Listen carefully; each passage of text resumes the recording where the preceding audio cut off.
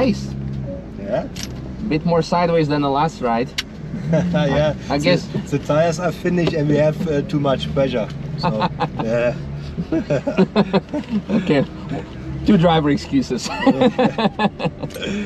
well, at least I'm not that sad anymore that I didn't go with the 992. But we'll try to do next year then. Yeah, absolutely. Yeah, cool. Thank you so much. That's Yeah. really very fun.